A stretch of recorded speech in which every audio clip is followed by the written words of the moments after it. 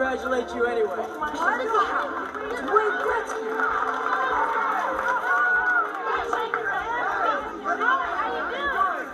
Guys, this is the Great One. Say hockey.